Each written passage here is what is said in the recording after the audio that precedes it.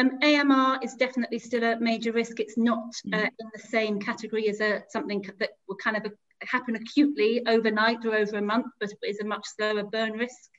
Uh, but where um, clearly not just uh, new infections, but the way that healthcare uh, has worked uh, for the last uh, few decades uh, means that if antibiotics cease working, then even very routine healthcare is at risk. so that is definitely the case.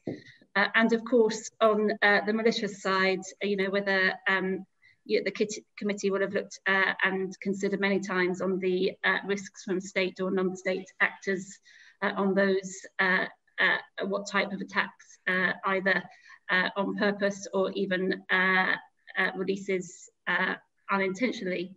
Uh, but I'll leave the malicious to one side. But I think pandemic flu, uh, infectious disease from animal origin and AMR. Thank you. Professor.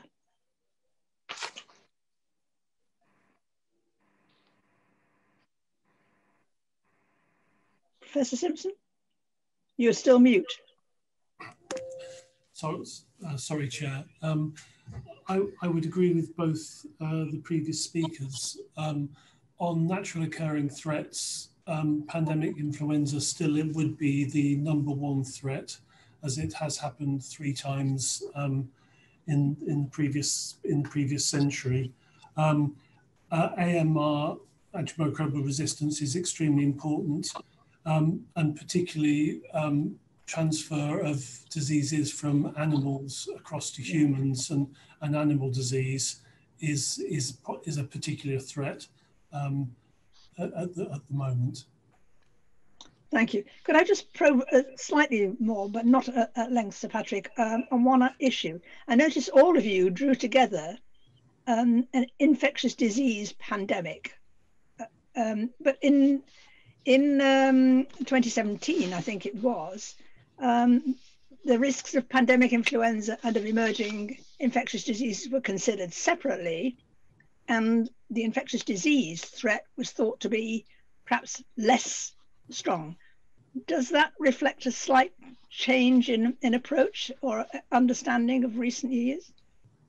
Uh, well, the reason I would have it and the way I expressed it is I think pandemic flu remains the highest risk because yes. flu virus mutates so readily and can make the species jump. Therefore, we, we just know from history that's a big yeah. risk. What we've now seen, of course, is coronavirus can make that leap in quite a dramatic way as well. So you'd have to say that actually a coronavirus um, outbreak with a mutation is possible, although this virus mutates much less easily and um, much less quickly than than flu. Um, and I think uh, other um, jumps from animals to humans and other other infectious diseases could come. So as a group, you might say, well, there's a possibility there that could be as high as pandemic flu, but for each individual one, it's got to be much.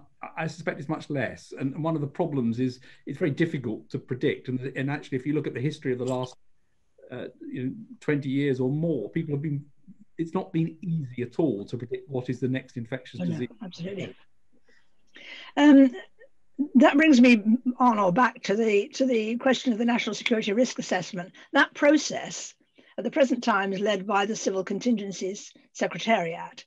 And I would like again like to ask each of you in turn how you'd characterize your organization's involvement in that risk assessment process. So you again first, if you don't mind, Sir Patrick. Um, so as you say, this is led by the Civil Contingencies Secretariat. Um, the role of the Government Chief Scientific Advisor and the Government Office for Science is to comment on, help and probe methodology. So to look at the way in which it's done and to see whether there are ways in which there could be new science that could help that.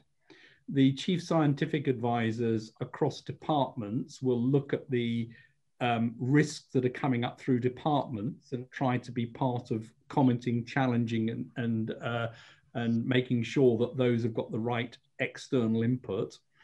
And then the aggregate across the group of chief scientific advisors and this office here, Government Office for Science, will look across and see whether we think we've got consistency and whether there are some things that we, we think may be missing or, or, or misplaced. Um, but our, our, role is one of advice and challenge uh, with the process being owned by the Civil Contingency Secretariat and by individual departments. Thank you. Ms. Swinson. Thank you. Um, so yes, the Cabinet Office lead that the cross-government process. Uh, the departments, uh, so my department DHSC leads on uh, our respective and relevant risks, which as you know is pandemic flu, the emerging, emerging infectious disease and AMR, uh, and also input on the cyber security risk uh, and the provider failure, particularly on the adult social, on adult social care. Um, so it's our responsibility to update the risk assessments, uh, both on the uh, likelihood and impact, uh, which we commission from PHE, which I'm sure, sure Professor Simpson will go on to talk about, uh, and then to um, submit those to the Cabinet Office uh, and take any further questions or challenge uh, from them. and they clearly look at the relative positioning of the risks that come across government. Um, and then, of course, um, once that process uh, is complete in any given cycle, uh, we're responsible for the um, uh, planning and responsiveness uh, against those risks uh, and the readiness of government. Thank you. Professor Simpson. Yes, our, our, our role is to protect and improve the nation's health. Amongst other things in this area, in this field, we track and monitor potential threats um, around the world we develop new technologies to detect potential threats, uh, both naturally occurring and due to deliberate release, and we conduct exercises and to test and improve the to, to detect and improve the protocols. Um, as as as has previously been said, we do develop risk assessments, and that process does include our veterinary colleagues to uh, and, and to have a One Health approach to to the threats. We support the cross-government biosecurity work. Um, we input into the implementation of the strategy, and we have uh, various mechanisms where we assist in delivery of response. Okay, um, and just one more to you, Sir Patrick, and then I'll move on. Um, we've we hear a lot in this all this process of risk assessment and planning and so on. We keep hearing the phrase reasonable worst case scenario what does that mean to you? And do you do you find it? Do you think it's been helpful in dealing with the present pandemic? The reasonable worst case scenario is a, is a process owned centrally by the uh, Civil Contingency Secretariat, and we input, um, uh, in, in, this case, from SAGE in terms of providing some of the modelling to, to, to go behind that. And it is an assessment of something that could happen is not likely to happen, but would be um, the sort of worst case you think would be a reasonable thing to appear. And and you know, therefore, there's an element of subjectiveness in it because in, inevitably it relies on certain assumptions. It relies on certain boundaries of what you think is reasonable and what you think is not reasonable. It's not the absolutely worst thing that could ever happen, and it's not the most likely thing that you think will happen and it's somewhere between those two bounded by an assessment of what seems reasonable and that's where the subjectiveness comes in so it has a utility for planning purposes but i think of course it has very wide uncertainty around that and one has to take that into account when thinking about planning thank you um, baroness lane fox thank you i'm going to ask some questions about planning as well Firstly, please to Ms. Swinson. Hi there. Um, you have specific responsibility, as you've already said, for um, the public health uh, risks and is supporting the response to the public health risks. In the 2018 biological security strategy, strategy, security strategy, strategy, not security, yes, security strategy, um, you were uh, already doing some work, I think, with the existing way you were organized. So two questions really. Firstly, what is the work you do beyond strategic? What's the response that you undertake? And has it changed after the 2018 strategic review? Thank you. Um, so I think you're asking about the biological uh, security strategy, are you? Yes, so um, within that uh, uh, strategy that brought together the different biological risks uh, facing government. Uh, I think two things uh, that I would say. One is that the DHSC and other relevant departments kind of retain, of course, responsibility for uh, those elements that are lead, so pandemic flu uh, and global health security. Um, at that point, there was also governance uh, put in place for the things uh, across, right, right, across government, which is a Home Office lead. We're part of that uh, overall governance board uh, and a working group uh, that's met, uh, I think, 12 times since the um, report was published. Um, so um, we take expert input um, in all of the areas we just talked about.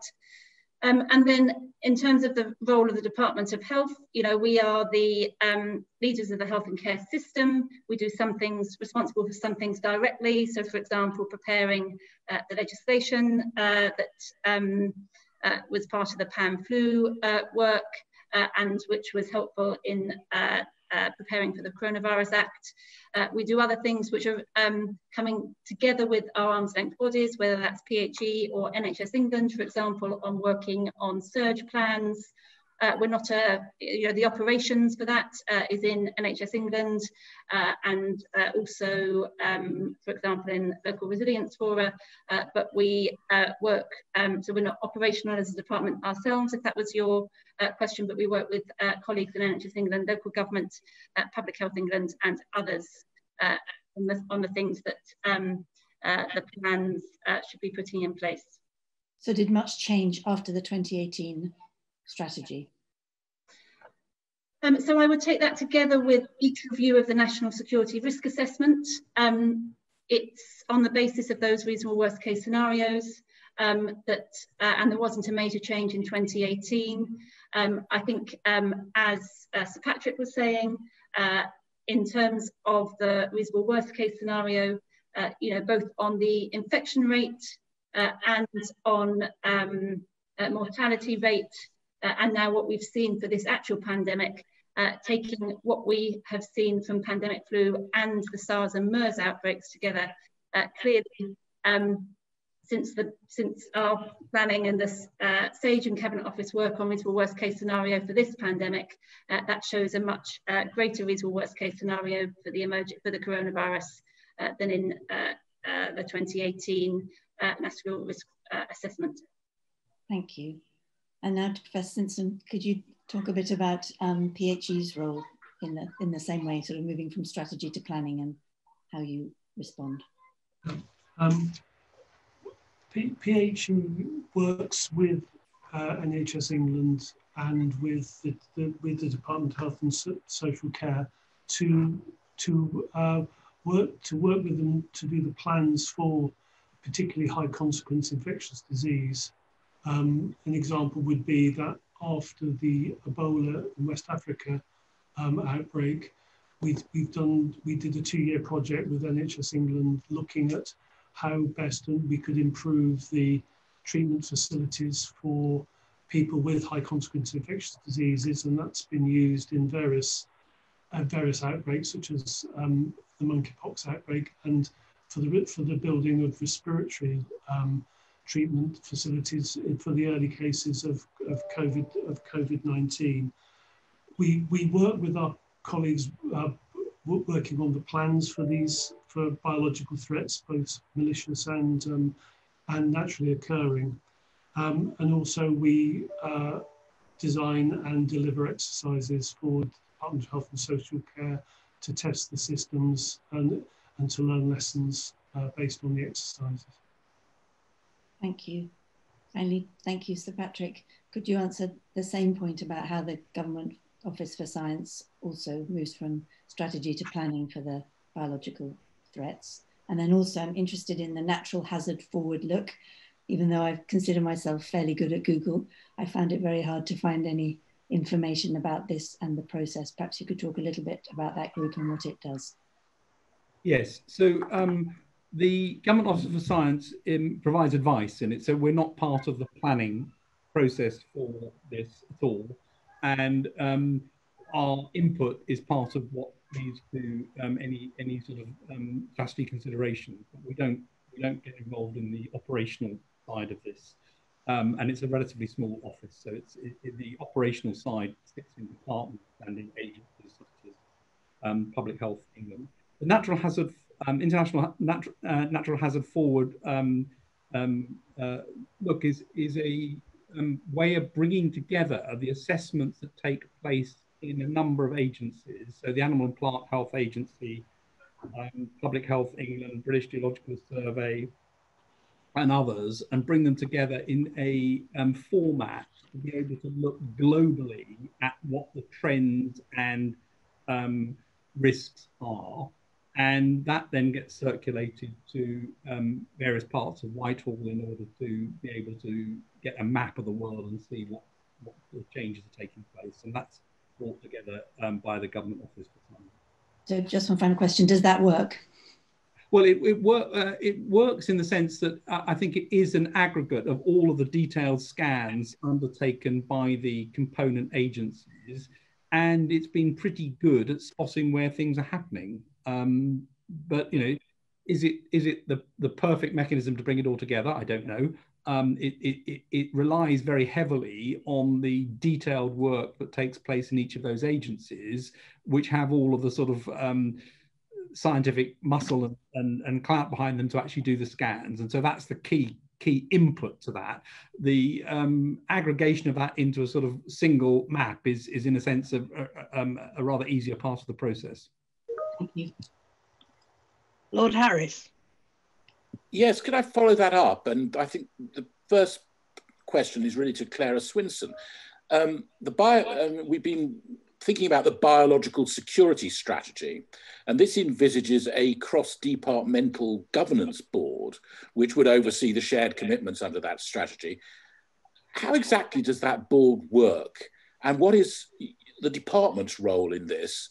And could you tell us, I don't know, how frequently the uh, board has met and what have been the main outcomes of its work so far? Yes, um, of course, good afternoon. Um, so um, the governance board brings together Home Office, DEFRA and DHSC as the three departments uh, uh, for HMG who published uh, that strategy, uh, together with PHE, MOD, uh, a range of other government departments. Um, and it uh, uh, I think has uh, met twice at that high level, senior civil servant level, uh, since the publication of the strategy. There is a working group as well uh, that's uh, met much more frequently, uh, and that um, work reports into the security minister, so Home Office lead, and from there on into the Cabinet Office as required. That's looking at the biological um, strategy overall. As that document sets out, uh, that much of the work is within the department's uh, existing governance strategies uh, governance uh, mechanisms. Uh, and so that's the case, uh, for example, on the Pandemic uh, Flu Preparedness Board uh, and the work that we've just been talking to on the National Risk Assessment work with Cabinet Office and other government departments. Okay, I mean, you describe a fairly top heavy governance board. Um, my experience of those is that they don't always work very well, that uh, uh, attendance is poor. You've said it's met twice. Was it reasonably well attended? So, so um, in terms of the, the range of departments that uh, are required at that board and are on the membership, uh, you'd have to uh, would have to check in with the Home Office, but I believe so. Uh, the working group in terms of the uh, work that that reports and then a progress update uh, that that can uh, uh that I believe that is bringing together. Uh, of course, with the onset of the pandemic, all of those departments are now working very hard on the response to the pandemic, and I would have thought that. Um, Uh, we would need to uh, look at both progress against that strategy, uh, its government governance, and the progress against it when we are out of the acute phase of the pandemic. Okay, thank you. Could I ask Sir Patrick, um, the biological security strategy specifically envisages that the government chief scientific advisor will maintain oversight of the strategy's outcomes. Now, somebody told me, and I have no idea whether this is accurate, that this was not something that you were consulted about before it uh, appeared in the strategy. But could you tell us how you fulfilled that role? Uh, yeah, well, the, clearly the, the strategy was written before I uh, joined and published after I joined, and so I certainly was not consulted about it, was not expected to be. Um, uh, and I think that strategy was put together from um, um, the Home Office, I believe, as, as the way to produce that. And, and the role that um, we then clarified that was expected of the Government Chief Scientific Advisor um, is to look at the annual update report against, progress uh, against progress and for us to comment on it. And, and that is, is what I'm expecting uh, to happen as part of that. Right, so it's a fairly hands-off role, your um, uh, oversight as as currently constructed, that is the role that's that's been described, which is that the um, annual review takes place. There's a report that's provided, and that then comes to me for comment and review. Okay, and I mean this is more general to all the witnesses, though I suppose primarily to Clara Swinson and uh, Professor Simpson. With the experience of COVID, how could the biological security strategy be changed to improve the cross government approach, and in particular the central to local government approach to biosecurity risks? Thanks. Uh, happy to take that first. Uh, so I think um, it's very much, as you've uh, just uh, talked about the central governments uh, coming together. I think on the central to um, local, those reasonable worst case scenarios that we talked about are provided to local resilience fora, and it's the responsibility of each uh, government department working with uh, the Ministry for Housing, Communities, Local Government uh, to uh, make sure that they have the, are provided with the reasonable worst case scenarios in order to plan against. Um, I think with the experience of um, uh, coronavirus, uh, then clearly looking at the uh, the scope and extent of the biological uh, threats that uh, uh, the UK faces um, would be something, you know, that as well as the priorities for each department, whether that needs to go broader, the horizon scanning function, uh, and then the types of things that need to be done, as you've already pointed to, between national, regional, local levels, uh, according uh, to those risks. Uh, all I would say is that any um, strategy or um, risk assessment, you know, and with a worst case scenario, none of those things are a prediction. Uh, and so responding to something, obviously you take the plans that you've got, they'll always need amending. Uh, and once we learn from this, um, which I'm sure we might uh, come back to, you know, it's a, uh, it's a problem for all kinds of crises that you end up uh, preparing for the next one as if it was going to be the same as the current one. Uh, and we'll know, um, of course, and can prepare as far as possible for future threats, but we'll, we'll know that the next one won't be exactly like this one. So you need an element of flexibility uh, in that. Uh, yeah, I understand that. I mean, could I just come back? I mean, we're coming, we're going to move on to local resilience forms in more detail, but I can envisage a circumstance where uh, this area of work generates a um, um, you know a, a, a, best worst case you know um, a worst case um, uh, reasonable worst case uh, scenario, and so do all the other high risks. And these all arrive simultaneously or over the course of uh, uh, the working year at a local resilience forum. Does anybody say, actually, this is the one, or these are the ones you ought to be taking more seriously? Was any particular priority uh, given to these? Yes, you make a very good point. I think that's the role of the Cabinet Office, looking at all of the risks from departments, uh, putting them in the risk assessment, uh, thinking of which of those are then uh, tiered into tier one, two, and three, uh, and uh, they're responsible uh, for then putting those out to local resilience fora with any guidance about which ones to focus on. as I'm sure we'll come on to, obviously in any given time frame and exercising program, for example, on um, exercise Cygnus, pandemic flu, the Cabinet Office has decided, you know, uh, according to priority, to work on other major risks, such as national blackout or flooding, uh, depending, uh, and then therefore they get a particular focus in any in that given year. I don't know whether Professor Simpson or, or, or Sir Patrick, for that matter, Professor Simpson wants to comment.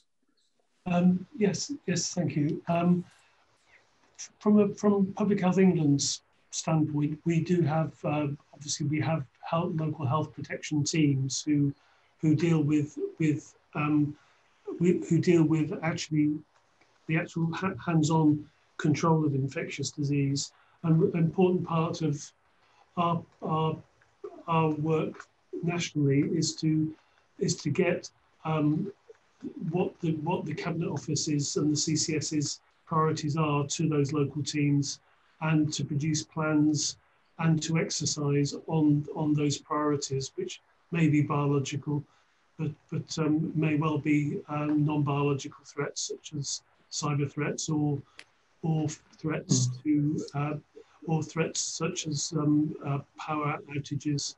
So we, that, that's that's the way we work, and I think from COVID-19, this is this is a part of our activity that will need to be strengthened.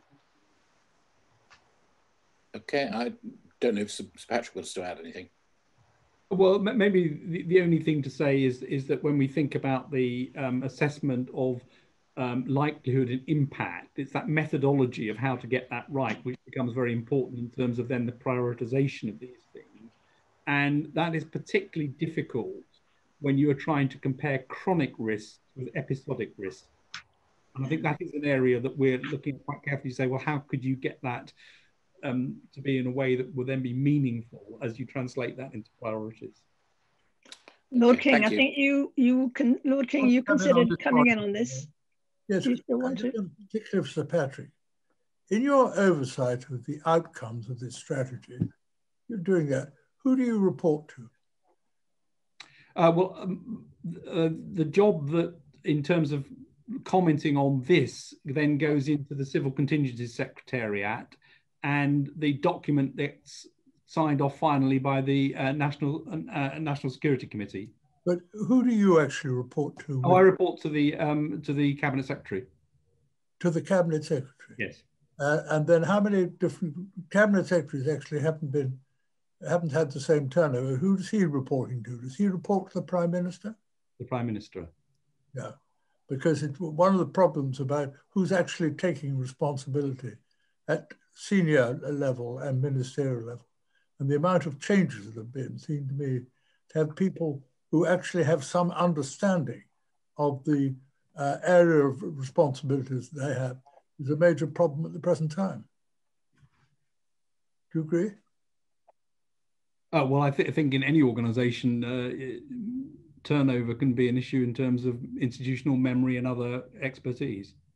But you found that the Cabinet Office understood the strategy, knew where it had come from, and knew what its objectives oh, were. I, I, think the Civil Contingency Secretariat has had very strong, consistent leadership, and uh, I mean, it's, yeah. it's respond to. Um, but they, the, sorry, who's the leadership of the Civil Contingency Secretariat? Well, so so Katharine Hammond was leading it until very recently. She has moved on now, but for the entire time I've been in post, she was the person who was leading this. Right. Thank you. Thank you, Baroness Hodgson.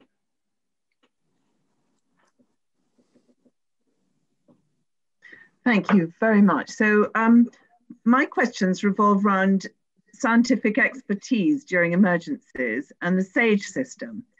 Um, and particularly to Sir Patrick, the SAGE mechanism is vital for ensuring that scientific expertise underpins decision making during emergencies. But how do the SAGE activations work? And in your view, what are the strengths and weaknesses of this model for getting scientific input when monitoring and dealing with significant public health risks? And in particular, what happens when there are diverse viewpoints, as we read in the papers, have happened uh, from time to, uh, over this pandemic? And how do you reconcile the views of different scientists to come forward with, with, with recommendations, solid clear recommendations for policymakers' decisions? Okay, lots of questions there, and I will uh, do my best to answer them all. Um, so the process of activating SAGE is that it is called by COBRA. So when COBRA is called, they can call SAGE for an issue which is complex, cross-government and requires scientific advice. Separately, uh, there's something called a precautionary SAGE, which I can trigger if I wish to, to try and get ahead of things and to uh, try to anticipate that SAGE would be called. But formally, it's a COBRA decision to call SAGE. The Government Office for Science then um, assembles the experts that we need for any particular emergency. And in my time, in uh, the two and a half years I've been here, that's included um, uh, Novichok, it's included Toddbrook uh, Reservoir, it's included um, uh, a, a, precautionary SAGE on Ebola, um, uh, and of course, um, a, a, lot on COVID. Um, the office will go out to um, government departments where there are experts on scientific advisory committees, so usually external people from government who are known to be on scientific advisory committees. We will ask the learned academies for experts. We have our own expert lists and we will ask specialist bodies and we'll bring together a range of experts for the problem we have in front of us. That doesn't mean that those individuals would be on SAGE for the entire duration of whatever the um, problem is that we're trying to address.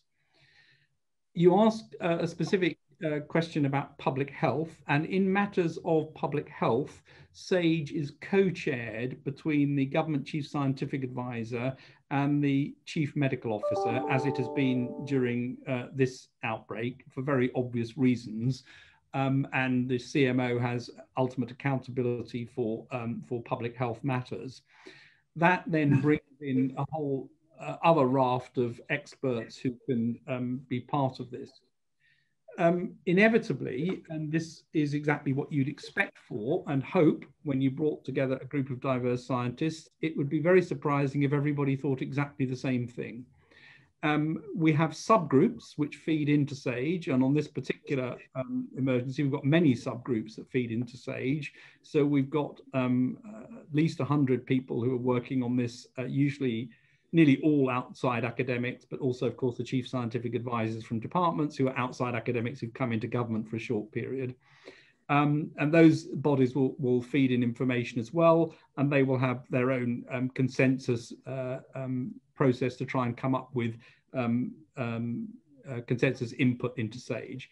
SAGE is a process of then trying to come up with um, a view with the uncertainties expressed. And it's very clear that science is very seldom a complete utter fact that is um, immutable and something that's never going to change. Normally, science is the best representation of what you can know today, but accept that as more evidence accumulates, you will, of course, need to change. And it's a position of trying to the uncertainties around the um, evidence that you have today. So that's that's the way that um, SAGE works.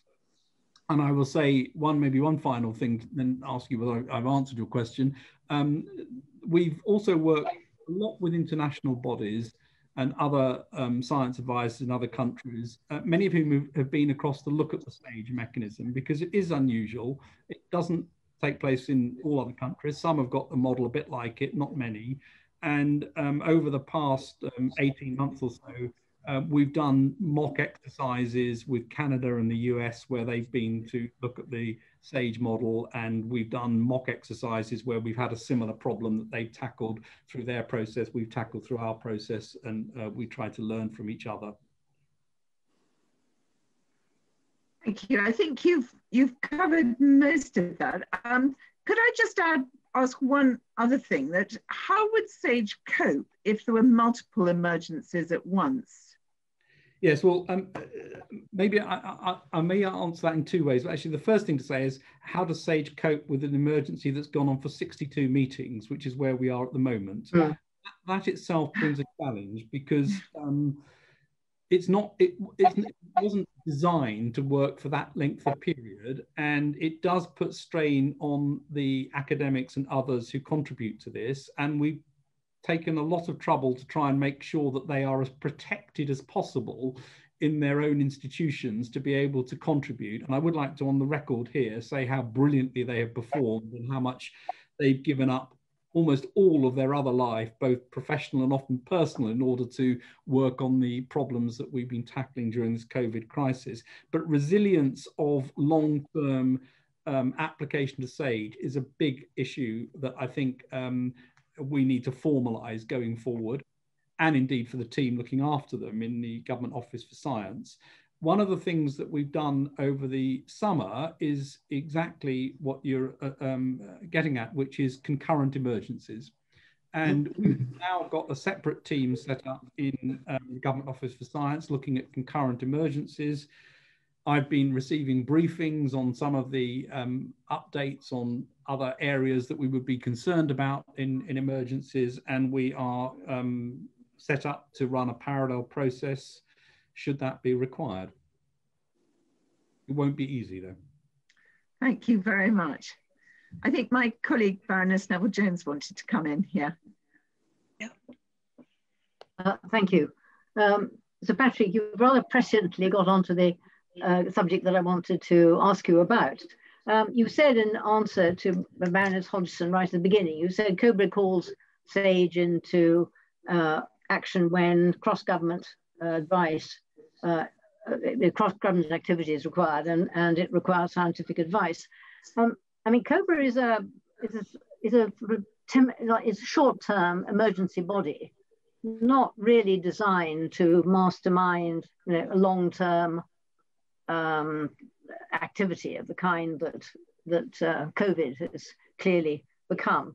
Now, you've talked about the effect on SAGE itself.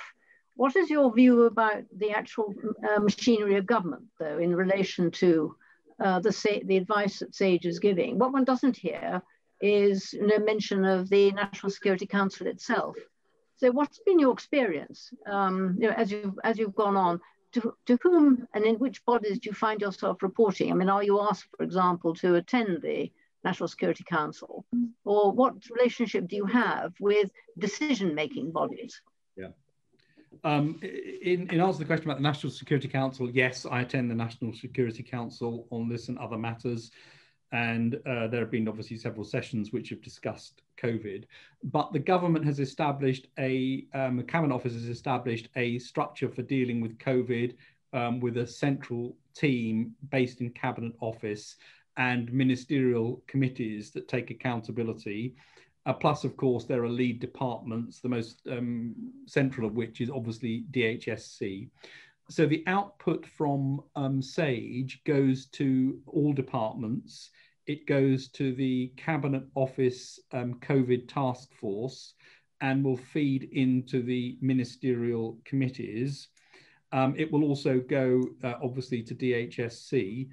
Um, it's worth saying, of course, there are other forms of scientific advice that feed in through departments, and each of the chief mm. scientific advisors in the departments will listen to SAGE and take their own information back to departments, and many of them will have their own advisory boards feeding into specific questions in departments, much more operational than SAGE would be. And DHSC has its own forms of scientific advice to feed in as well. But that's the route, rather than what would happen in, in a shorter term emergency, whereas our output would be SAGE to Civil Contingencies Secretariat and COBRA, it's a slightly more complicated picture now, but our key recipients would be the Cabinet Office COVID uh, Task Force.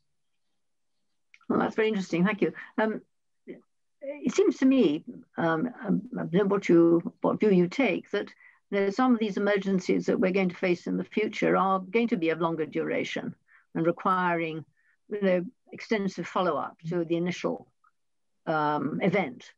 Um, do you think what you've just described is something of a model that will be replicated, possibly of, of involving different departments, but uh, of a kind which we will now need to go for when we're dealing with you know, longer term situations where the society has to live with the whatever whatever is afflicting it for a period of time. Well, I think the the model of requiring um, central coordination and a team to run it um, where it runs across department is obviously one that makes sense from an operational perspective. Um, and I think that um, as things become more chronic uh, problems, it's rather mm. important that departments pick up the running of that. Um, and so uh, you know, DHSC has done a lot, and that's part of why organisations like the Joint Biosecurity Centre have come into play, because there needs to be a more long-term, stable system with internal government um, science providing advice into it, plus getting its own external input, rather than um, thinking that you can run this from SAGE for the whole time, because SAGE is an advisory body built up from external academics largely. It's not part of the government operational machinery and can't certainly can't be something that, that uh, runs for very long periods. So government the government departments have to take it as part of their normal operations. And in oh. effect, yes. And so in, in the end, your role at some point will come to an end. I mean, other than from time to time offering advice. Yes, I mean, I think that's uh, if again, if you take a short-term emergency, that's exactly what happens. Cobra calls Sage. Sage meets for the duration of the emergency. Cobra stands down. Sage stands down, and in in a way, something similar at some point will happen here. Thank you very much. Lord Powell, and I apologise. I gather I didn't see your hand before. I'm sorry about that. That's right. Well, Sir Patrick, just continuing on the, on the questions of SAGE, some of our earlier witnesses have suggested that it's not a diverse enough body. Now, I'm, being, I'm quite simple-minded. I would expect a scientific advisory committee to be full of scientists, but apparently they think there should be other sorts of um, skills represented there, more operational skills, people who know about supply chains and that sort of thing. Do you think there's any validity in that criticism, or are you happy to see non-scientific issues left entirely to non-scientific bodies? Well, I'm quite a believer in getting um, uh, experts to run what they know about. And SAGE is science advice um, uh, for government emergencies. It's not the advice how to operationalize things. It's not the advice on economics. It's not the advice on all sorts of policy matters. And I think it's rather important that it isn't. Our role is to provide, to the best of our ability, scientific input into decision making and advice. That needs to be integrated by ministers and others, taking into account many other forms of evidence and advice. And I, I really think it would be a mistake to try and um, integrate all of that into a single body, not least because the output then becomes something which sounds like a ministerial decision, which is something that SAGE simply, can, in my opinion, can't and shouldn't do. I think that's absolutely right. On the other hand, there is an impression that um, Sage has been asked questions which are not strictly within its within its ambit um, for advice on, on, on, wider issues. Do you think it has been misused at all in that sense? And perhaps slightly more impertinently, do you think politicians have taken taken to hiding behind Sage in order to thrust Sage forward as to be apparently responsible for the decisions they don't themselves want to take or be associated with. Well, if we get questions which may come from departments or come from um, centrally that we think are not science questions, we tell people they're not science questions and we stick to um, giving the scientific advice. Um, the scientific advice, of course, can be interpreted as a policy position, which it's not. I mean, it can be turned into a policy position, but that's for somebody else to do um, and we we stick with we stick with giving advice. Um, and one of the things which I think has been important in this um, uh, pandemic has been uh, the, the SAGE advice has been very visible, has been um, open. Uh, we publish all of our papers and our minutes, and it's there for everyone to see. And therefore, it attracts a lot of attention as being somehow the advice. It's, mm. it's simply the science advice and the science advice needs to be incorporated in, in, with all the other advice that ministers rightly will need in order to make decisions. And some of that is obviously less visible than SAGE. So I think part of the reason that SAGE has been quite so prominent um, in terms of the way people think about this is the visibility of the advice that we give in comparison with perhaps where other advice comes from.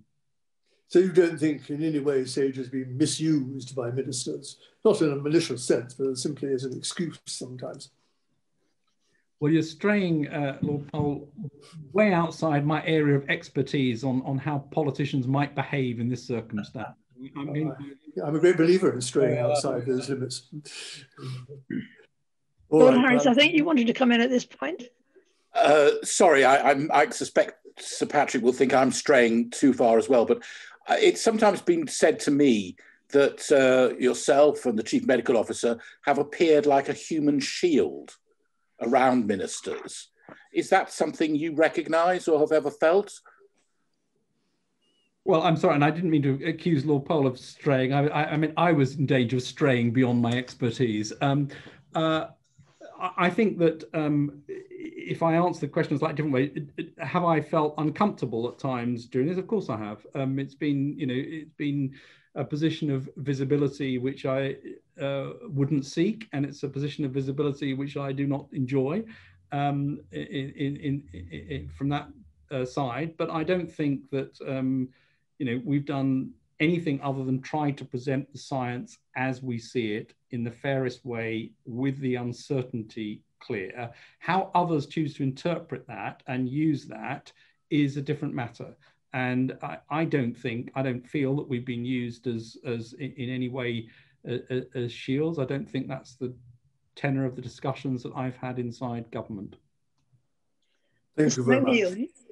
Sorry, Mr. MacNeil, you wanted to come in on this point? Yeah, indeed. Uh, thank you very much. It basically on the sort of the groupthink uh, idea that's in um, that could be in Sage, and how much sort of learning are you doing from uh, colleagues across Europe? Um, it's an obviously difficult question, but there's one in particular that that stands out and have banished um, COVID three times in the Faroe Islands, and I'm just wondering how much you might have learned from places like that uh, in regards level of testing uh, and searching for asymptomatics as well, and maybe um, given they've banished COVID from the territory three times, is there anything that you can transfer over? Yes. Um, well, we speak, uh, but when I say we, that's both me and, and the chief medical officer speak a lot to our colleagues around the world, not just in Europe, but around the world. I have regular calls with um, uh, Canada, New Zealand, uh, Singapore, South Korea, Japan, and many European countries. And um, we're all learning from each other. Um, I haven't spoken to the Faroe Islands, I'm, so that's one that I haven't. But um, uh, we have spoken to a lot of different places.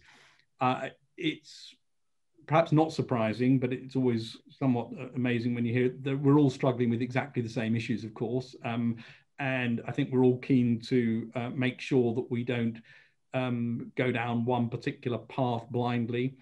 Um, Chris Whitty is also very linked into the WHO, so gets a lot of input from from there as well. Um, and the groupthink issue is, is a really important one. On SAGE, um, we do have a range of different members. We do refresh the participation from time to time, and we did appoint somebody a few months ago now um, to observe us, somebody who was experienced to make sure that we don't get into groupthink, or if we do, he can point it out to us. So we do our best to do it. Um, and with over 100 um, people in different subgroups, and each of those having groups behind them in institutions around the UK, um, we certainly pull from a very wide range of science. And we were very keen and very pleased when the Royal Society set up bodies to do um, uh, some of the same things. So we get a sort of, like, an independent view on this. So I think, I think that I mean, thing, but I mean, you know, you, you, it's one of those things you don't know until. Of course. I mean, it would, it would, it would just seem to, you know, they found that 80% of those with positive are, are asymptomatic and they keep searching out the asymptomatics. I mean, the problem we have, certainly in Scotland and, and the wider UK, is not wanting to test anybody unless they're showing symptoms, which leaves 80% of those carriers un, unbothered uh, by the entire process uh, but also their levels of testing in population are over 200%. I mean, they've having banished um, COVID three times from the territory, I would suggest that probably it's a search for the asymptomatics, those levels of testing that have probably done it for them. And it's our problem that we just don't have the capacity to, to test at that level. And therefore, uh, we, are, we are stuck with the situation of just only really searching out the people who are, say they've got symptoms. Well, uh, okay. F first thing is just a, um, a, sort of tangential point, but important, which is the notion of eliminating COVID from anywhere, as you've just described, is is not right because it'll come back. And so, you, yeah, it's, it's, it's come from other territories that haven't tested as well. Elimination strategies and so on. You know, the, the, the, I, I, think that's very unlikely. Um, although, although you could, if every territory was doing the same thing, yeah, you, uh, you would imagine that then everybody could banish it. But if one territory is doing it and the other 199 aren't doing it, basically, it was in the world, yeah. you've got a difficulty. And, and, I mean, it's worth reflecting that there's only one human uh, disease that's been truly eradicated, and that's with a highly effective vaccine, smallpox. So it's, it's a very difficult thing to do. Um, in terms of testing, you're absolutely right. There's a high proportion of asymptomatics. Um, it is a little unclear still exactly what that proportion is. Um, it may be uh, um, something uh, around 60% or so overall, but I think there's quite wide uncertainty around estimates of exactly how many people really, really are asymptomatic. Um, but uh, would I like to be able to test far more, or do I think the UK or, you know, would be in a better position if it could test far more? Yes, because we know that the only way you pick up a lot of people is through testing, and the testing then needs to be linked to action of isolation. So it's no good just to test; you need to do something at the end of it in terms of isolation. And um, the more you can get out there and, and, and test across asymptomatics as well, particularly in areas like care homes, in hospital settings, and so on. And I think this is a strategy which the DHSC has laid out for testing, uh, the better. Um, and at the moment, and Clara could speak to this um, more than I can, but at the moment, the testing capacity is such that I think the UK is testing more than, than, than any other country in Europe, but it's nowhere near enough to do what you've just described yet. On a, on a final small point, the tests will work just as well on people who are symptomatic and asymptomatic because the, the test is looking for the virus and therefore it doesn't matter whether the uh, patient is showing the symptom or not or is, is that right or wrong well, it's, it, it's it's it's almost right in the sense that um, you're right, absolutely right. The test is picking up the virus, and therefore anyone who's shedding the virus will test positive. Um, the only area where it might be a bit more difficult is is um, if you're asymptomatic, you may get a less good swab because you may have less material. Yeah. Um, so occasionally you, will find people who are asymptomatic who who may may have a, there may be a slightly lower sensitivity, but the test will pick up um, both asymptomatic and symptomatic. Thank you, Mr. Jones. Uh, thank you, Chair. Just a quick supplemental for Sir Patrick, and then my questions are primarily about Public Health England, so I'll come to Professor Simpson after that. So, Patrick, you just said that the only example of something that's been eradicated was smallpox with a highly effective vaccine. Just to push a little further on that, does that mean that in our deliberations in this inquiry, we need to envisage, even with a vaccine that we don't yet know how successful it's going to be for COVID, that this is something we're going to need to manage year on, year out in the same way as influenza, for example? Uh, I think that's quite likely. Um, now, of course, we can't be certain, but um, I think it's unlikely that we will end up with a truly sterilizing vaccine, i.e., something that completely stops infection. Mm. And it's likely that this disease will circulate and um, be endemic. My best assessment, and I think that's the view of many people on mm. SAGE, that that's a likely outcome. Um, clearly, uh, as management becomes better, as you get vaccination, which would decrease the um, chance of infection and the severity of disease or whatever the profile of the vaccines are, this then starts to look more like annual flu than anything else. Uh, and that may be the direction we end up, we end up going in. Thank you for that. And so to Professor Simpson, uh, in, in, in, that context, I mean, we're all conscious that the Health Secretary was very critical of Public Health England and has since made the decision to instigate the National Institute for Health Protection as its successor body. And one of those criticisms from the health secretary was that PHE didn't have a permanent standing capacity to respond to these issues or to scale up quick enough to respond to these issues. Given we've already heard today that uh, similar but non-COVID related threats are still the highest priority threat for us in the context that we're discussing today. Could you just uh, help us understand whether PHE had that mandate in the past to provide a standing capacity to respond? And if it did, whether it was given sufficient resources in your view to do so? I think, thank you very much. Um, the, the, there is there is quite a lot to be said for the principle of uh, bringing together test and trace of the Joint Biosecurity Centre and PHE's health protection functions under one roof. Um, and we're already beginning to collaborate very closely on this. Um, it, it, was in, from Public Health England's mandate was to protect the health of the public um, and we, one, one part of that was to develop technologies such as testing, um, to novel to novel pathogens. Um, it wasn't an explicit part of the, the mandate that that Public Health England could massively increase the ability to do that on a, on a very large scale. Um, and that is one of the things and one of the lessons learned from from this from the COVID-19 situation, which which can be dealt with in, as part of the new organisation and part of its remit. But, but perhaps my, my colleague um, uh, uh, Clara Swinson may, may wish to come in from a DHSC perspective. Uh, Clara, please feel free to do so. I mean, if PHE's job was to um, kind of consider the risks and and build a a model for responding, but then was not able to scale up in order to respond when it actually happened. Was that the department's role to respond? Whose role was it? I'm happy to come in. Um, so, um, going back to where we start on the reasonable worst case scenario, in terms of um, what uh, each agency, uh, whether that's central government departments or not, um, was planning to do. I think the scale of what has happened on coronavirus, uh, given the asymptomatic uh, spread uh, and the differences from a influenza pandemic, uh, meant that, you know, when this started, you know, there wasn't a test. So first it was a new virus, um, had to develop a test, then had to scale up. Um, now, um, getting to that scale now, you know, 300,000 uh, a day, we've got the technical expertise uh, to create that, create those tests. We didn't have, uh, as some countries, for example, Germany, you know, had a very large uh, private diagnostic sector uh, that could be put to that. So we've had uh, to increase uh, the volume of testing uh, and ministers decided uh, to uh, set that up under NHS Test and Trace.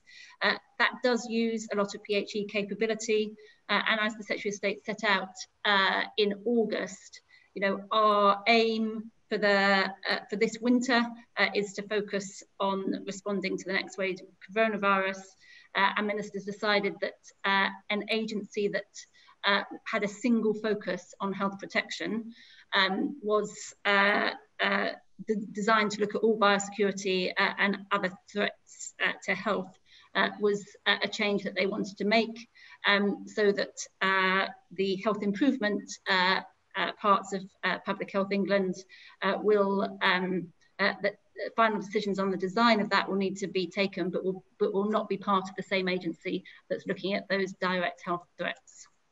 I'm happy so, to pick up any of your questions that I haven't reminded me. Thank you. So, so prior to the institution, the National Institute for Health Protection idea, it was the department's responsibility to be able to scale up to meet these responses, these, these problems, not PHEs. Have I understood that right?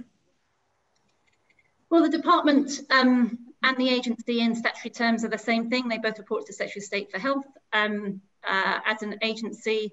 Uh, so looking at the capability in the public health system uh, and uh, looking uh, in the NHS, what tests could be done within uh, public health laboratories, what testing could be scaled up elsewhere.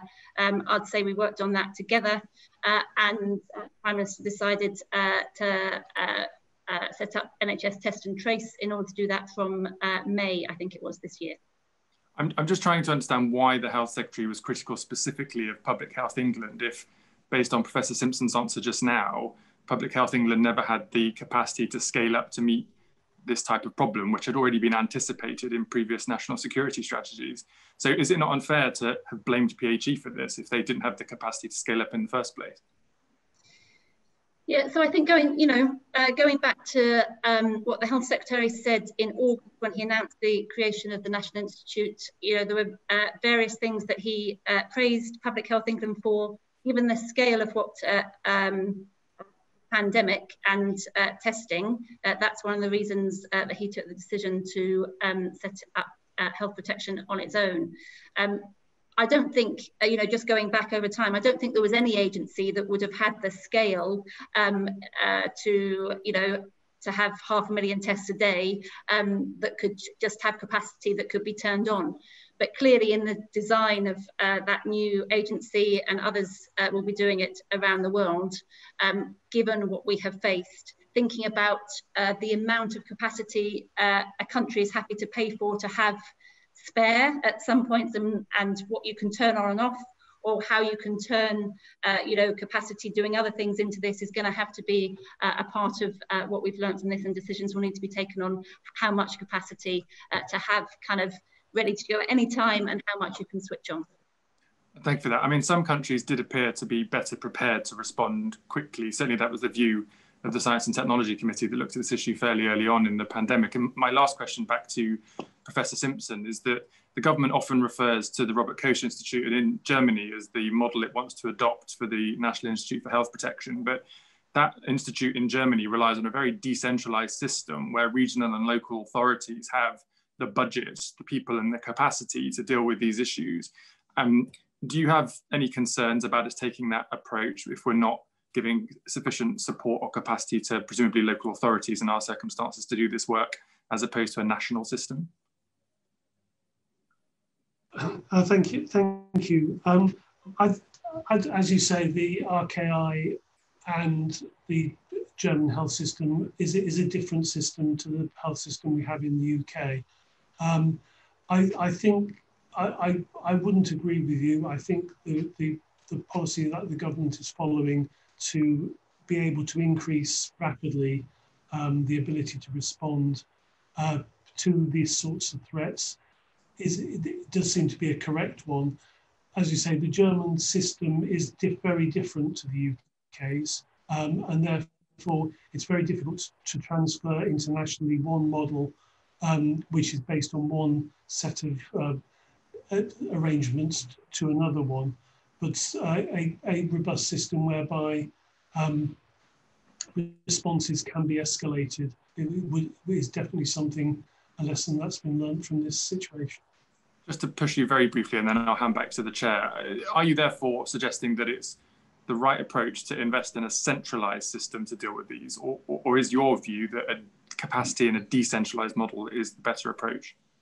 Um, I think that what I think what I'm probably saying is it, it is best to invest in whatever the, appropriate system for the way um, a jurisdiction is organised.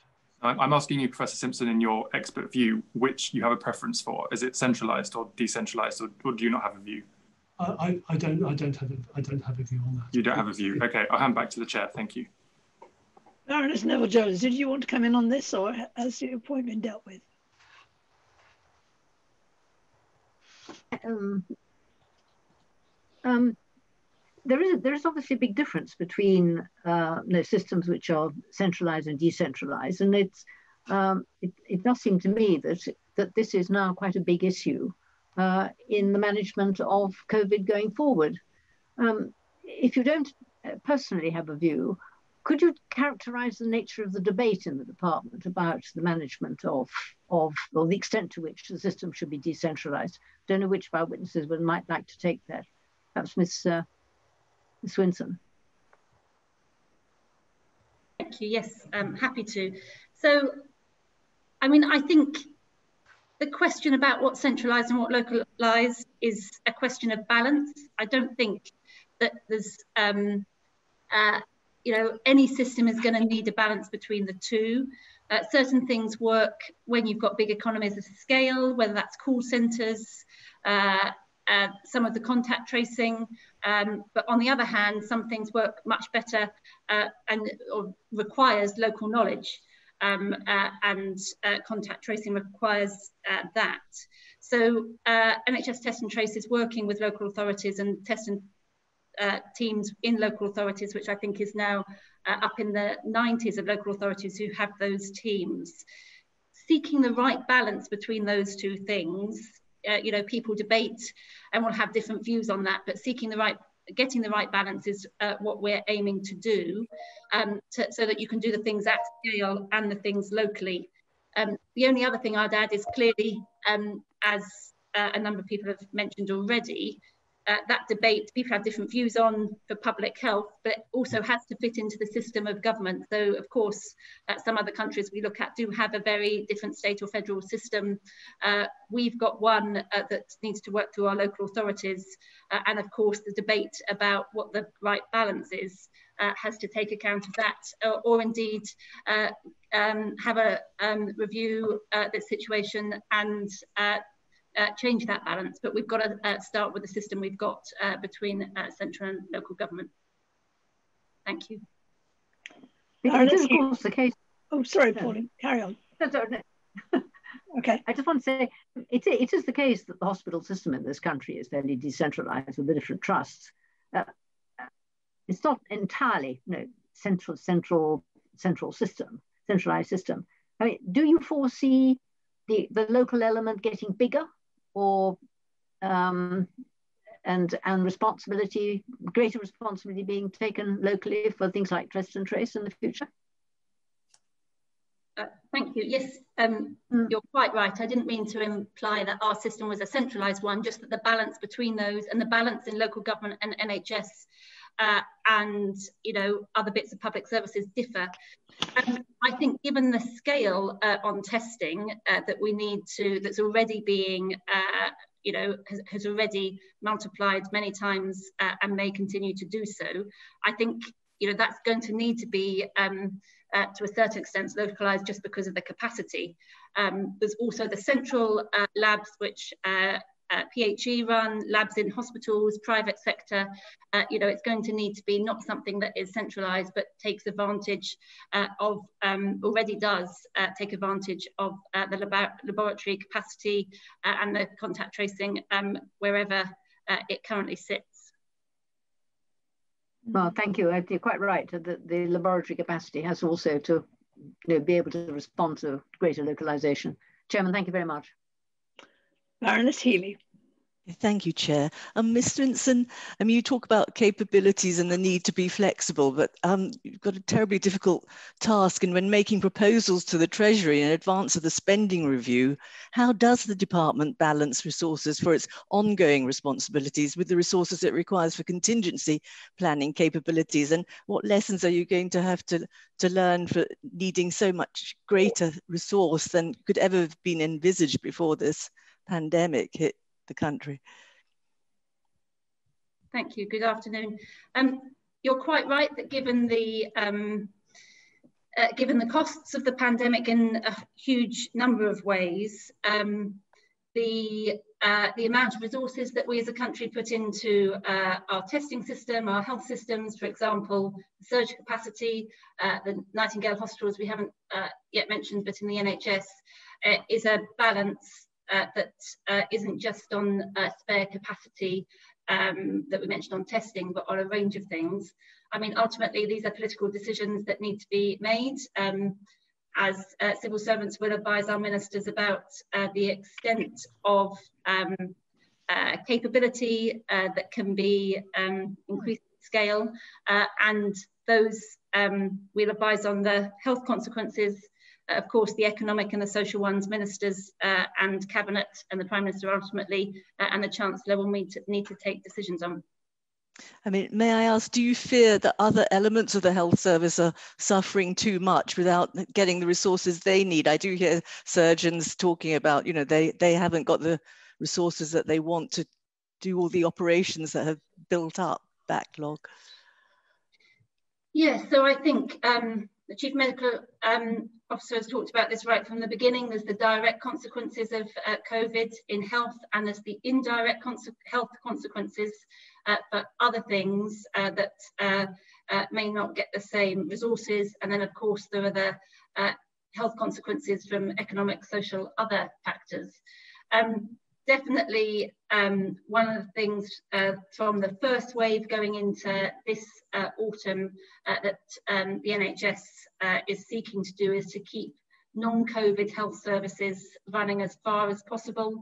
Um, you know, there were um, a number of services uh, that uh, had to be um, paused in order to um, be ready in the spring. I, I think the NHS has learned a lot about that uh, so that um, hopefully more of those can be kept on Uh, we also know actually that um, uh, sadly, the public, even when some services uh, or many services were kept on, the public didn't um, uh, always seek them. Um, and so a very strong message that you would have heard, you know, from Simon Stevens, from uh, politicians and others, that the NHS is open for business across all of its health services.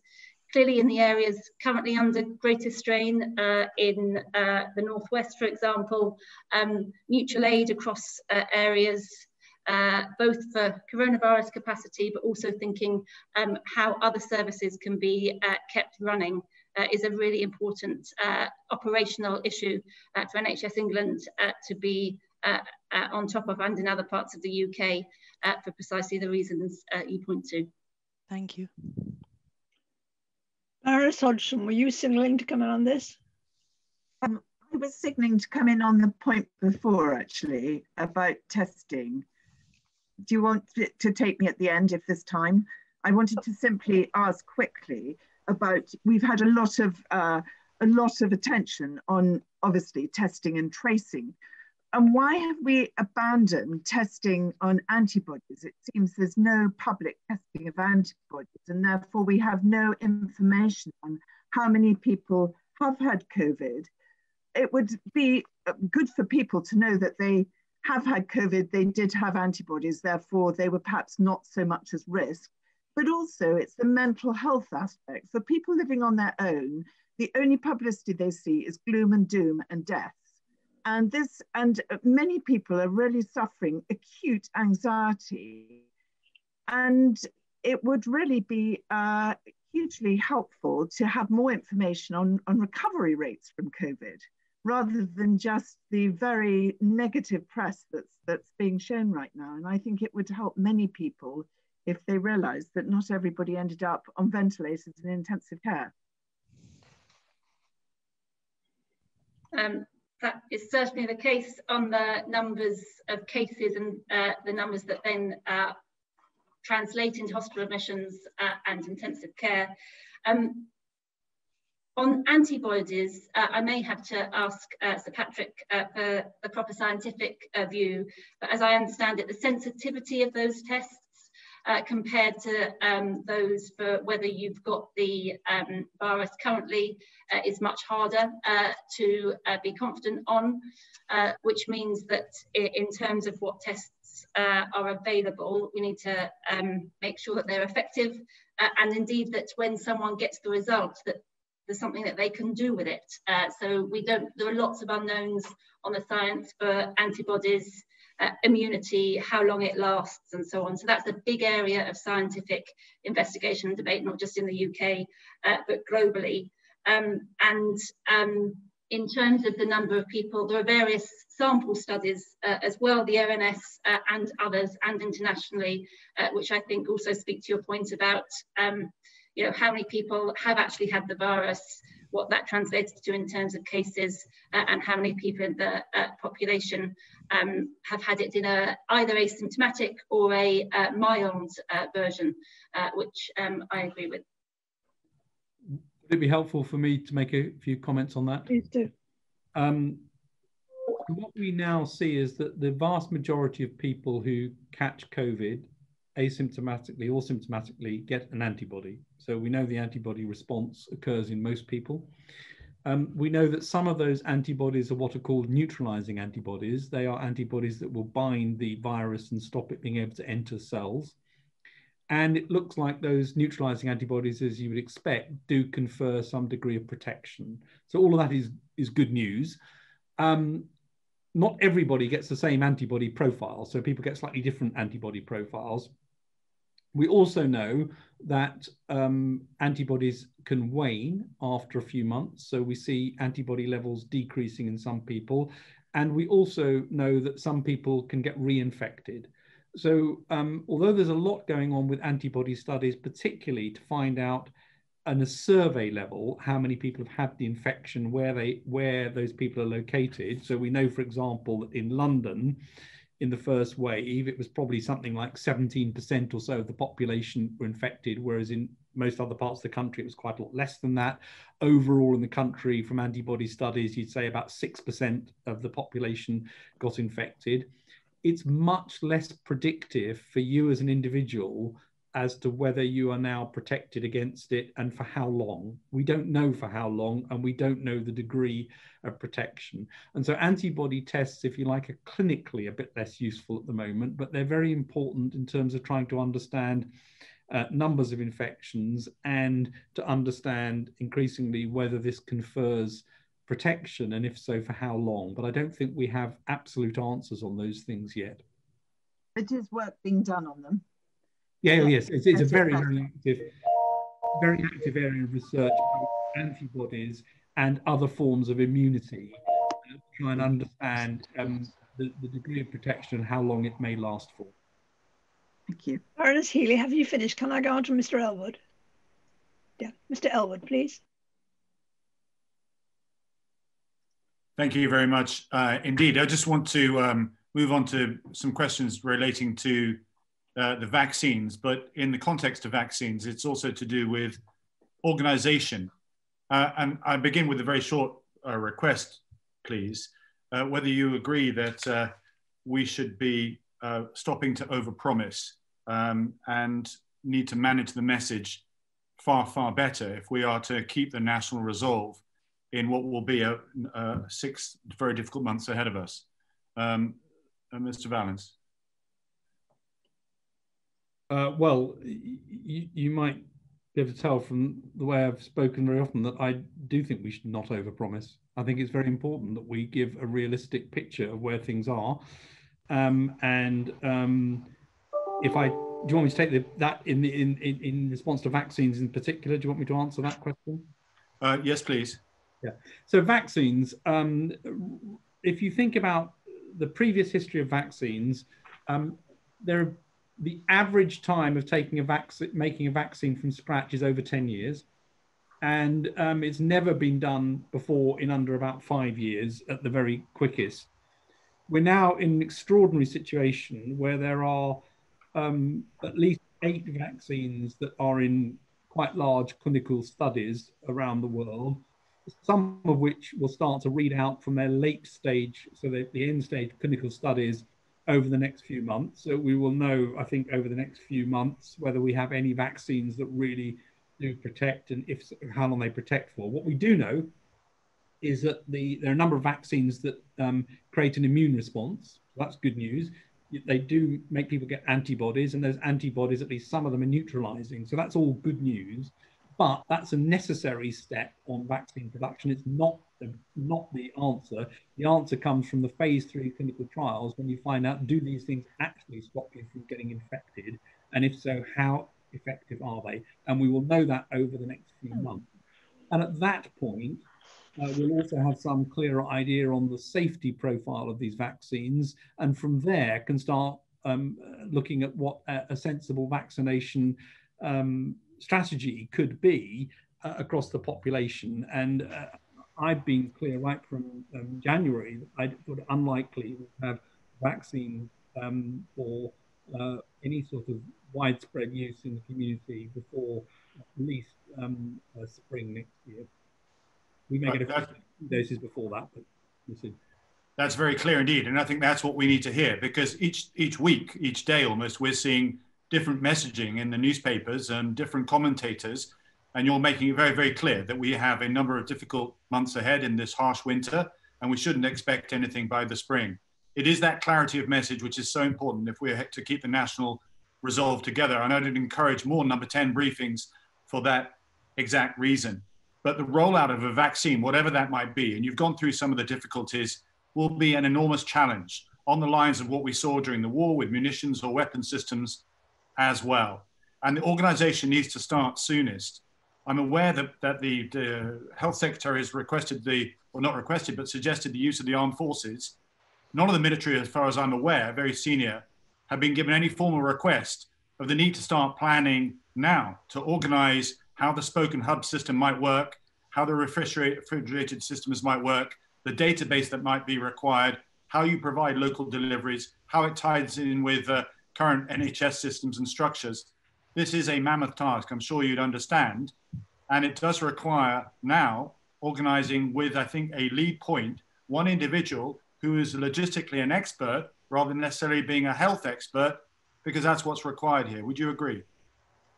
Uh, yes, I think I think perhaps Clara Swinson from DHSC may want to talk about this because clearly DHSC will be um, responsible for uh, vaccination strategy. But I think this is a big logistic challenge. There's no question about that.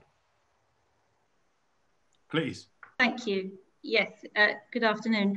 So um, just to take your first point, um, uh, to agree with Sir Patrick, and I know uh, that uh, the CMO would say the same and has on many occasions. This is a marathon, not a sprint, uh, and uh, this is something uh, where we need to progress work on all kinds of areas, and there isn't a single solution. And testing isn't a single solution, and vaccines isn't a single solution either.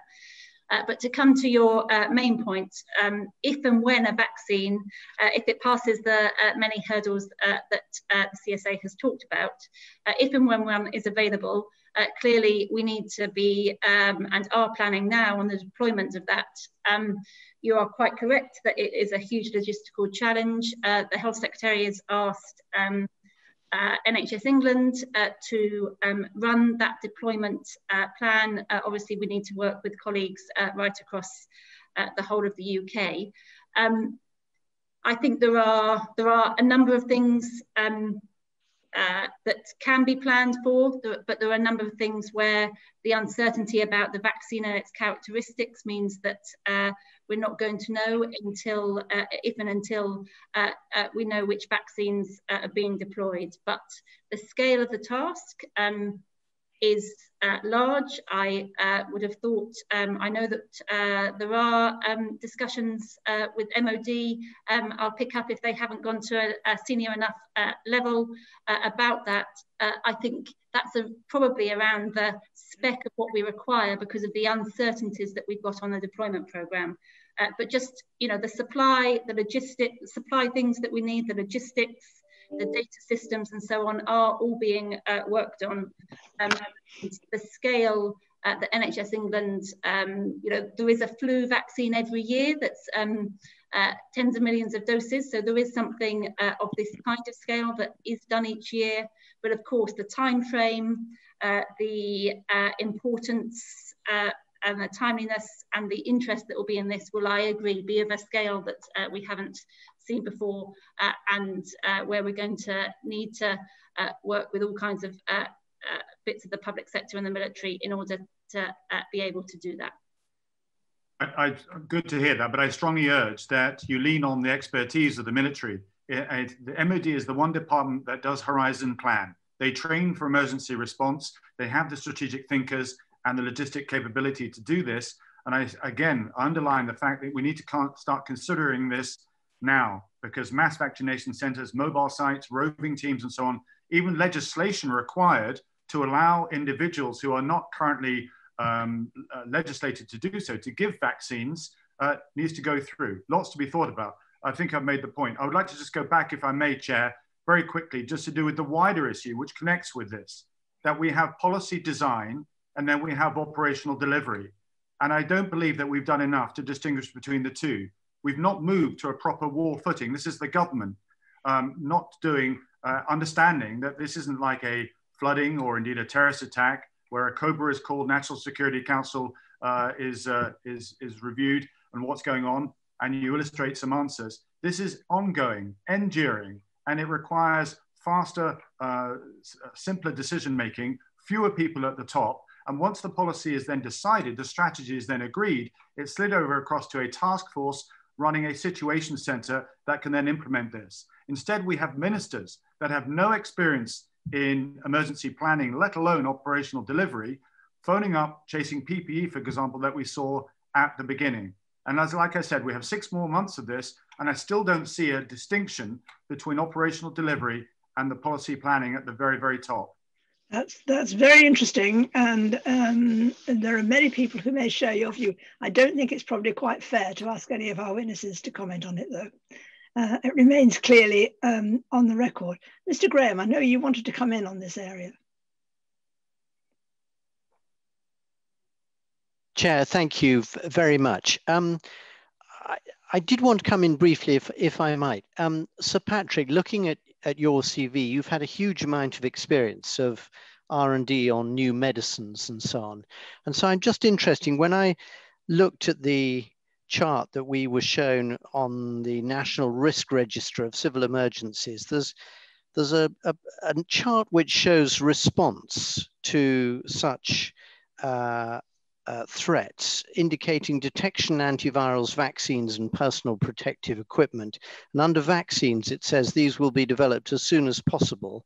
Once new flu strains are identified, this will take at least four to six months. The, the time between when we first identified this pandemic, which I'm assuming is broadly late December, early January of this year, um, to the timing that you were suggesting, the spring of next year, that's significantly longer. Does that mean that basically, in terms of our strategy, we've underestimated the length of time that it does take to provide vaccines for pandemics?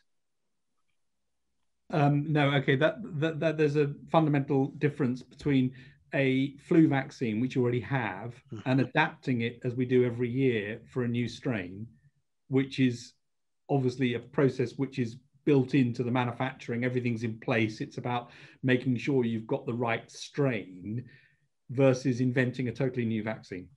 So, in terms of the strategic approach to vaccines for a totally new strain, what sort of time span should should we actually bear in mind when planning strategy? Well, uh, prior to what has been achieved with this, I would have said five years minimum. Gosh. So, in terms then, um, if I can turn to, sorry, do, do go on. Can I just ca caveat one thing? There has been a remarkable change in vaccine technology in the past few years. And I think this does mean going forward, this could look quite different. There's been essentially one or two ways of making vaccines for the past um, 30 years or more. Um, but in the last five years or so, there have been techniques which allow you to go from the sequence of the virus, the genetic sequence of the virus, to a vaccine, a experimental vaccine, in a period of a very just a few weeks. Then you've got to get all the testing and manufacturing. But there is now a way, and and and, and these first wave of vaccines, so-called messenger RNA vaccines, is one of them, um, are going to be first out of the block for for um, COVID, I think and and so we'll see then whether they work. And if they do that could radically change how one thinks about vaccinology. And that could accelerate that period. But up until now that hasn't been possible. That's very helpful. So you're effectively saying that strategically the current planning time would be five years to develop a vaccine but that's now coming down quite sharply but it's still looking like around 18 months. Is is that the it could if these messenger RNA vaccines work, and I'm just picking on them as an example, it could even be faster than that in the event of an outbreak of a new disease. They they do provide remarkable speed potentially. Right, and and bearing that in mind, can I turn chair to to, to Clara Swinson? Um, Ms. Swinson, I mean, bearing in mind Sir Patrick's comments on that, it, it does look to, to a lot of us as if the way the government has to respond to a pandemic challenge like this is to really bear in mind, above all, what is our capacity for dealing with it if we have people who need to go to hospital and need to go on to ventilators. That does seem to be the driving force in the containment strategy.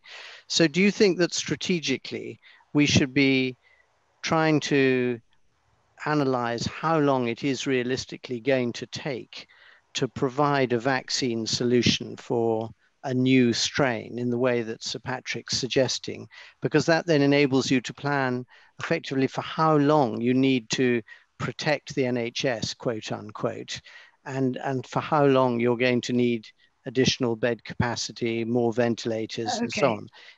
Okay, uh, if, if I could ask you to be a little bit brief in your reply, because we do want to move on to another area. Of course, uh, thank you. Um, so on um, vaccines, we talked about the reasonable worst case scenario earlier. This is one area where ministers have asked us to prepare for the reasonable best case scenario. There are many challenges on the time frame um, and the history as uh, Sir Patrick has set out, uh, but that is why um, uh, led through BEIS and the Vaccines Task Force, uh, we're looking at how we can be ready as early as that can uh, come on. Um, I think uh, if I just take the last um, point of the question, um, no, I don't think, and uh, I think CMO and uh, the CSA uh, have said uh, similar things in the past. I don't think it is a single vaccine um, that will um, uh, bring this pandemic to an end. It's work across vaccines, it's improvements in treatment, it's novel treatments, it's prevention, it's testing, and it is probably keeping uh, some of the measures, uh, hopefully, and I'm sure not on the extreme side, uh, but the way that uh, we have changed, you know, everything from uh, hygiene, COVID secure premises and so on, we're going to need I, I, understand. I understand your point on this one. The point, Chair, is just gently trying to get it was strategically and in terms of planning for any future events.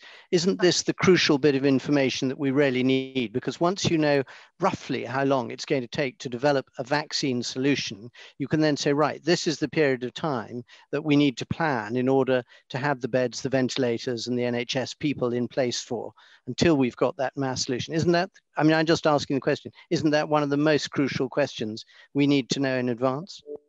Yes, um, and on uh, flu vaccine, uh, we would we had an idea about how that how long that would be on this vaccine and uh, the different technologies that Sir Patrick talked about. There were many more uncertainties. Thank and you so much. Baroness Neville Jones, please.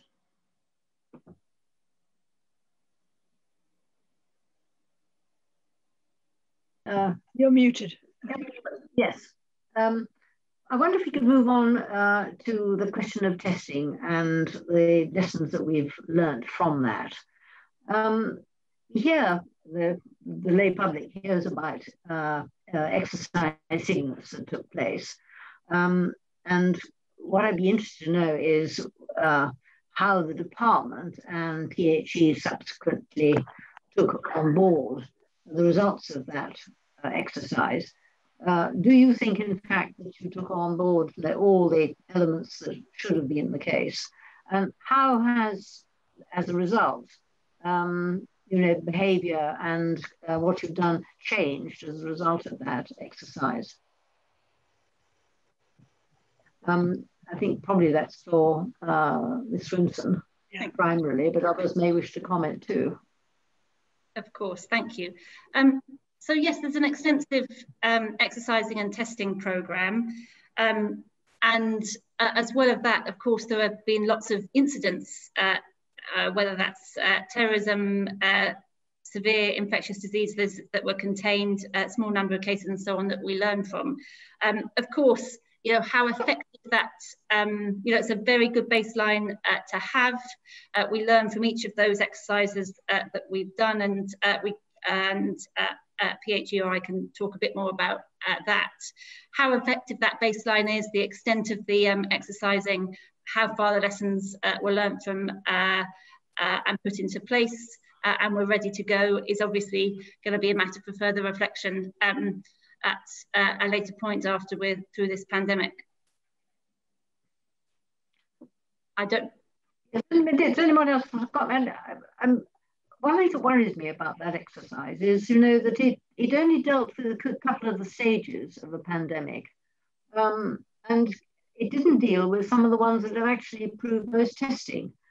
In addition to which, there were the reports, the report came out, which made a series of recommendations. As far as I can tell, uh, they weren't implemented. So one does ask the question, what is the value of uh, is we, are we kidding ourselves in holding an exercise of that kind when it doesn't actually deal with all of the stages that you need to go through and which I've identified? And secondly, the outcomes and the recommendations are not then followed through. It, it, this isn't, it, it isn't a model, it seems to me, that's, that's actually working at the moment. So on the exercising, um, Cygnus itself, as you say, it ran as an exercise. You're quite right. You've got to choose some elements uh, for that for, the, for, that exercise. There were there are tabletop exercises and a range of other things, uh, but you know whether um, to what extent um, everything was uh, tested uh, and the balance between what you choose between these kind of biological risks, preparing, for example, for terrorism attacks and so on. Um, Many of the ways that agencies have to work together are similar, whatever the um, is, but others are specific. So there's a balance uh, to be uh, struck there. Um, I'm not sure what report you're referring to uh, on the recommendations that you think haven't been implemented um, in terms of the uh, Cygnus report and the uh, recommendations. Uh, I can tell you, I mean, there, there were recommendations about the procurement of things like of, of um, PPE, uh, a whole series of practical things which were recommended, which, as far as I can tell, weren't followed through. I mean, I get the impression that, I mean, I understand all the difficulties, um, but uh, I hope you're not telling us that you regard that outcome as, as a successful model of how testing should actually give you a good basis for then uh, following through on the recommendations and being of real value. It seems to me, on the whole, what happened was it gave false comfort. But a lot of things that should have been done weren't followed up. So, not at all am I saying that um, uh, that whole exercising program uh, is a perfect program. I'm just saying that you need to choose various, you need to choose which elements. Yes, hmm. um, and uh, PHE um, design not just uh, Cygnus, but a range of uh, tests uh, that uh, um, John might want to talk more about. in terms of the recommendations, um, go ahead. Sorry, Chair. Professor Simpson. Yes. Um, as as uh, Clara Swinson's saying, uh, PHE has for many years uh, uh, uh, run and designed um, exercise and predecessor organisations exercises uh, for the health sector primarily, but for some exercises such as pandemic flu exercises for a much wider set of, of, of stakeholders. Um, as, as, was, as has been said, these are based on what the, the national risk assessments and what NHS England and, DH, and DHSC regard and, and ourselves regard as the highest and most pertinent threats at the time. And this is reviewed regularly yearly. Um, with the pandemic influenza exercise, and I believe the report is being published this week, um, what, what one has to do it, is to look at what are the what are the parameters under which you were going to test. And we did test a great number of parameters. One thing that is particularly difficult in general with exercising is, is long-term stress testing because um, you can't really take people out of their job for a month and, and have them part of an exercise. So there isn't always going to be an element of artificiality about that. However, you know, we do try and, and, and exercise designers worldwide do try and uh, take this take this in. On on um, on on the exercise itself, um, sort of 950 people did take part in it. So it was a large scale um, exercise to look at how a pandemic influenza um, and I stress that um, uh, pandemic might might might play out, particularly on health and, and on the health sector. So I'll finish there, Chair. Lord Harris. So, oh, sorry, Lady Neville Jones. I just want to say, do, do you regard the outcome, therefore, of that of that uh, uh, exercise as being? Would you judge it as successful and fulfilling its purpose?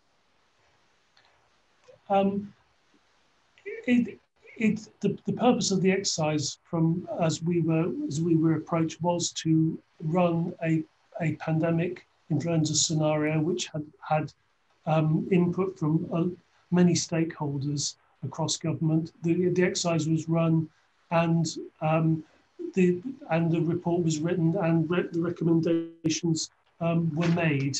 Um, and there have been previous exercises also um, about pandemic influenza. Um, and therefore, once the exercise is done, then from that point of, from that as an exercise, yes, I think it was successful. So the, the fact that the recommendations weren't and then weren't followed up, uh, is that, you think it's successful, but not your responsibility or it didn't matter? Um, I, I, think I think I think saying they weren't followed up is a, is a, is a rather is, is rather strong. And when the ex, when the report is is published, I think that will be that will be apparent. Um, it, some of some of the some of the uh, recommendations were for PHE, uh, some of them were, were, for other agencies, and it's for those, it's for all the agencies involved and all the departments involved to take away their re recommendations for their activity and to look at how they might address those amongst um, in the future. I, no, I don't want to take the parallel too far, but I am reminded of the observation that the operation was successful, but the patient died. Lord Harris. Hmm uh, yeah, I'm tempted to follow up and say it was obviously so successful that um, we've been waiting four years or whatever it is for the report to be published. Um, but I want to move back briefly to local resilience forums. I think you we were told earlier that uh, they had received a reasonable worst case scenario on a pandemic, uh, pandemic flu. But I'd like to focus on the workings with local resilience forums, both in terms of the risk assessments and the preparations in advance of COVID 19, but perhaps even more importantly, during the pandemic itself. How well did that work? And perhaps we could start with um, Ms. Swinson.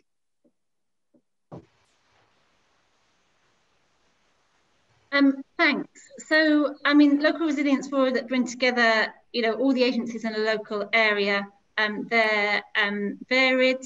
Uh, but in terms of, um, you know, the response in local areas um, and the work with uh, the NHS, uh, which is, and uh, social care, which is obviously uh, our responsibility from our department, um, I think that those two things in terms of the resilience of those two sectors, they often differ. Um, there are a range of other things that the Cabinet Office and MHCLG um, and other departments have uh, are re requiring local authorities to do, obviously they're under a, a lot of pressure. Um, so I think um, the it comes back to this question of, that we were uh, discussing earlier about the balance between national and local. Okay, but could I uh, ask more generally, and um, not just to you, but to the others, do you think, having experienced, gone through the COVID process or going through it, does this show any need for particular changes to local resilience forums, to the system as a whole, are the lessons which you can already draw from the way things have worked. And I'd be interested in both your comments, um, Clara Swinson, but also from the, from the other two witnesses. Um, so definitely the scale of contact tracing and um, uh, testing we've talked about uh, and the, uh, the role of the um, uh, local director of public health is an incredibly uh, important one, statutory responsibilities, uh, and they need to be supported uh, with the resources to do uh, their job in a local area. Um, I think that, um, you know, just going back to the conversation we were having, you know, certain things are tested. We are undoubtedly in a better position. I believe that we've worked on all of the recommendations from the Cygnus report, whether that's national or local, but clearly, um, uh, how effective beyond that and whether other things should have been uh, tested, including at local level. Um, uh, people have got you know reasonable questions about that. I don't know whether either Professor Simpson or uh, Sir Patrick want to add anything to that. Um, yes, I, th I, think the point I made earlier about about um, the way the way local resources and and being able to increase increase the amount of activity and resources that there are at local levels to do particularly test and trace and to do and to do uh, contact tracing in future and how that can be expanded. I'll make one comment, if I may, which is not on local resilience forum, which is really not my area, but I think there's one thing that is relevant to not only this emergency, uh, but to other things on the National Risk Register as well, which are data, data ownership, data flows, and analytics, and being very clear where all those things lie in any risk is crucially important. And I think it's a very key lesson to get that right across all of the risks. That could take us off in all sorts of interesting byways, which I will resist. But could I just ask one final question um, very quickly? Do you think there are any lessons from how the different devolved administrations have handled the crisis. And I don't know who wants to go first. Well, I think I think from a science and, and, and medical point of view, we've been very joined up actually, um, and and that's worked really well. And I know the chief medical officer would echo that. He meets with the devolved CMOs um, uh, very very frequently. They've been completely joined up, and we've had um, um, all of the devolves on SAGE. And although they've got their own science advice mechanisms as well, it all feeds from um, um from what's going on uh, across the science world. So I think it's been pretty joined up from that perspective. Um, I, I, won't comment on the operational policy aspects. Others may wish to. Swinson. Thank you. Um, so, uh, you know, in terms of my role, I'm either responsible for things that are UK wide or devolved, but I'll uh, take your question. Clearly, there are areas where uh, the four nations have taken different paths, and um, one of the things that we'll be able to do is compare and contrast those choices. One of the lessons I would definitely take from that is that you know politicians take different uh, decisions uh, and the balance between them. Um, we know, though, it is, and I know some of your previous um, witnesses were talking about this, uh, it's very hard for people who are living uh, near a, um, uh, a border, uh, particularly when the uh, guidance is different. Of course, that's a, it's a consequence of the devolved system we've got, but the, the communications um, in each uh, administration uh, is definitely um, something that we know is, uh, is difficult for people um, because of those differences. Thank you. Professor Simpson. Um, yeah, from the public health and public health response um, aspects, we've had very close working relationships with our colleagues in uh, public health departments and agencies in the devolved administrations. We have a meeting, we've had meetings every day um, uh, throughout the pandemic, starting in January, where we've discussed things jointly.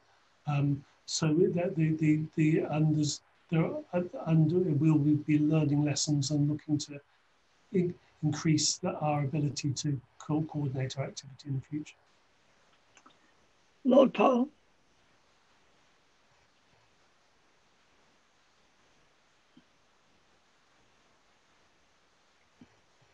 Powell.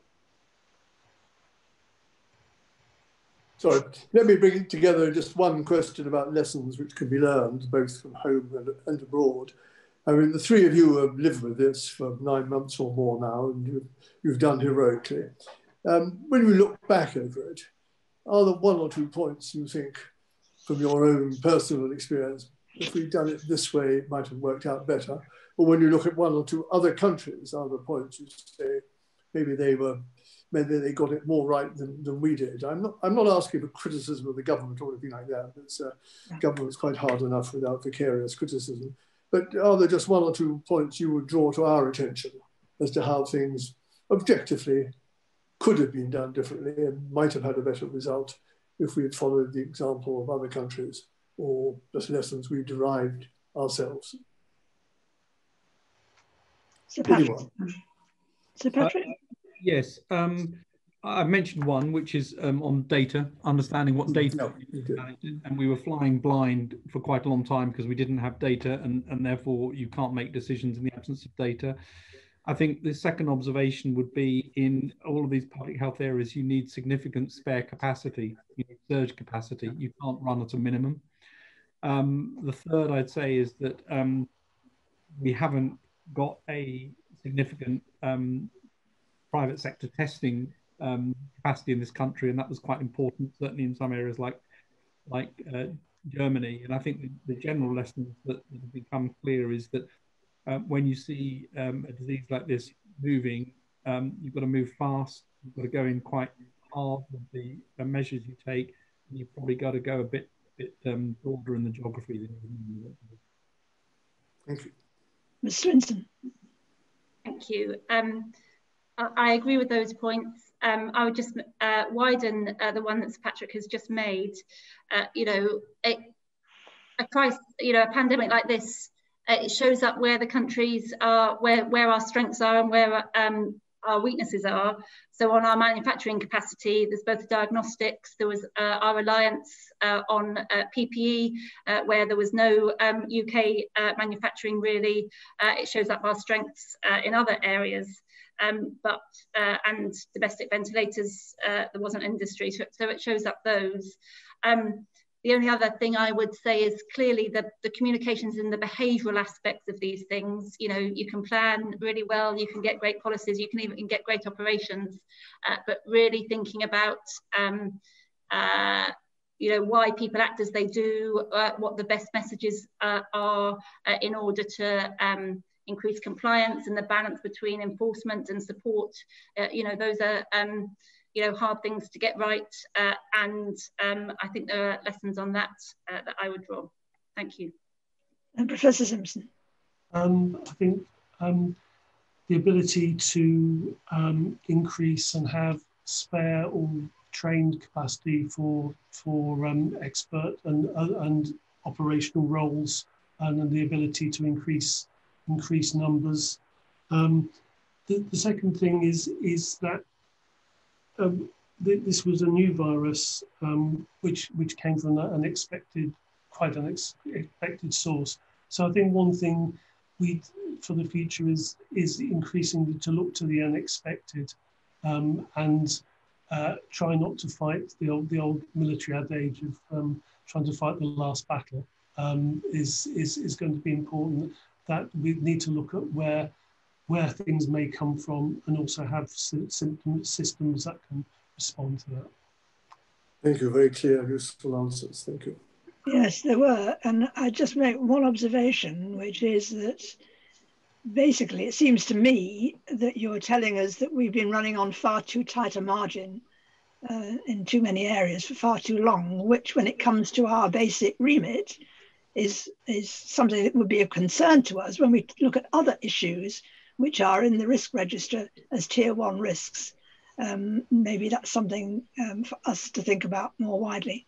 Uh, can I um, thank all of you very much indeed, particularly as I said at the outset, for coming at a time when you're under so much pressure elsewhere. We really do appreciate it. Um, thank you very much indeed. I'm going to draw the committee to a close. Order, order.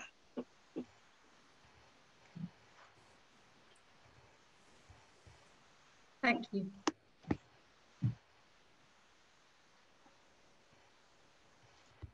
Right.